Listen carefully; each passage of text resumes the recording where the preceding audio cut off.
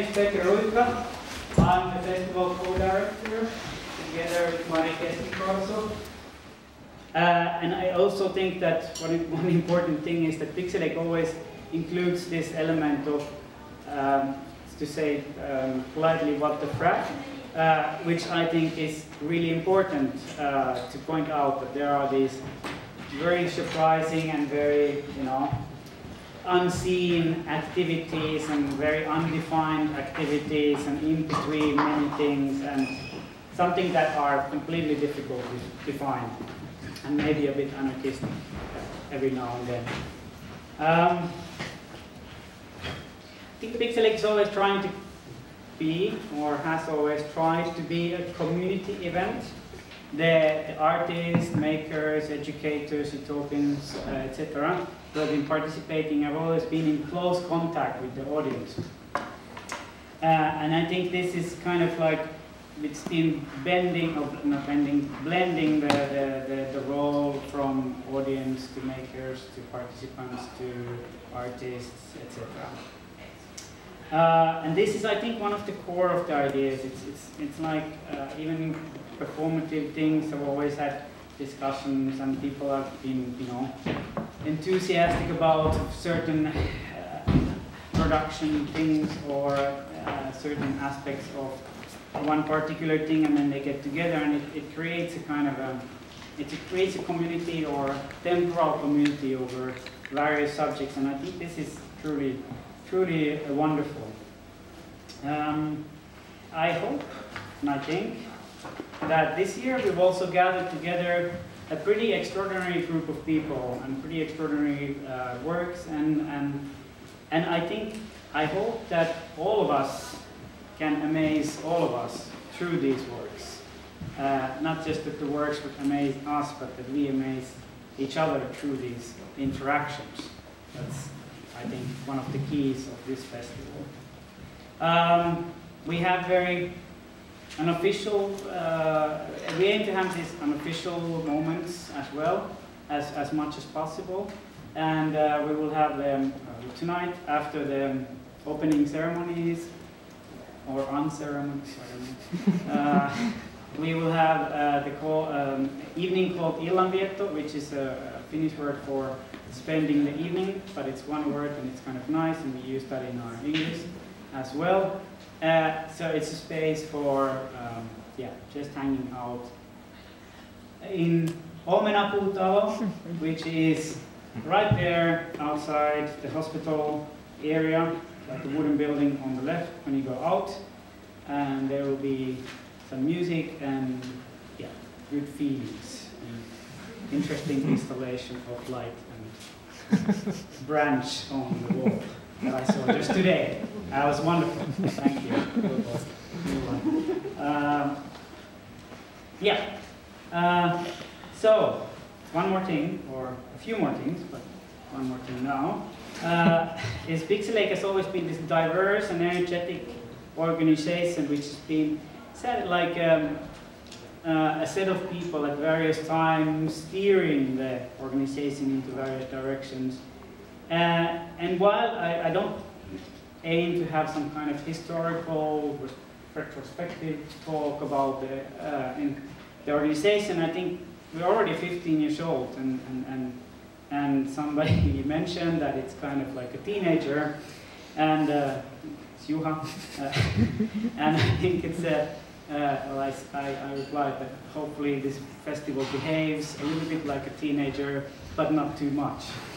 Um, I don't know what that means. um, uh, but yeah, I would just like to mention very few people. I think it was amazing what Juha uh, Huuskonen, who is here, also in the audience, so Great, great to have you here. Uh, what they did, what Juha and, and a group of really enthusiastic and interesting and smart people did in the early, early days of this, this millennia, they started this festival and they were steering it into various directions. And that was, I mean, I'm happy to be, to be able to have been able to be part of that process as well. And, and that was a kind of a, you know, that's a that's a really, like a really great thing to do. And uh, I'd also like to mention Nathalie Aubret, who was the Pixelache coordinator for almost a decade.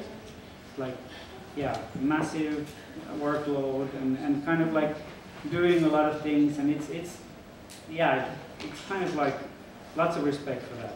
Um, especially now that I've been working as like dual roles and it's, it's sort of crazy sometimes.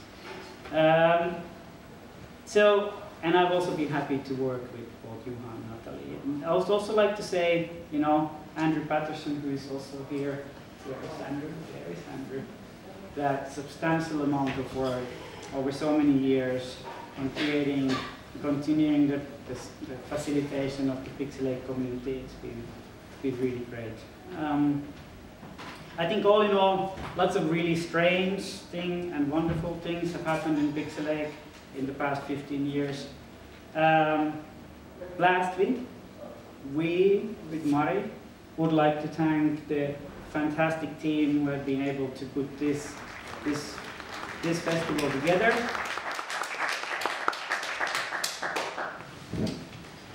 Yes, I'm Mari, and uh, I was supposed to talk about uh, the thematics of this festival, Interfaces of Empathy for Empathy Now.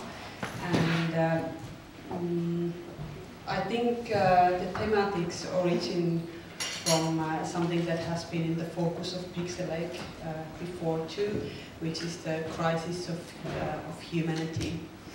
And our take on that crisis has been now empathy and empathy is not just something nice or it, it's not also anything.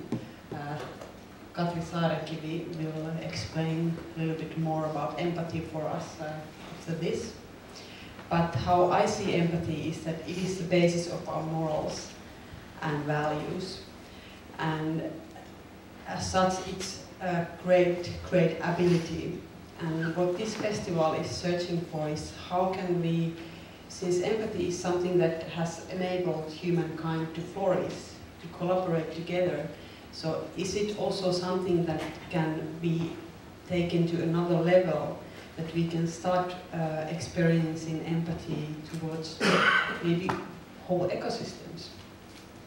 So uh, I think uh, things that are happening in this festival very much search these questions and uh, from very diverse points of views. Uh, I won't talk in so many words about the program because uh, anyway it speaks for itself, so there's no use for that. Please experience it.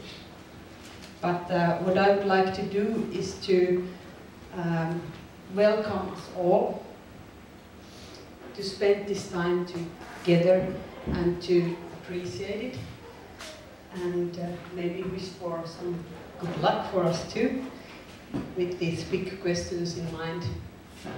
Uh, I will do a chant. Uh, this is not uh, from a religious point of view, but uh, it's just something to re refresh us.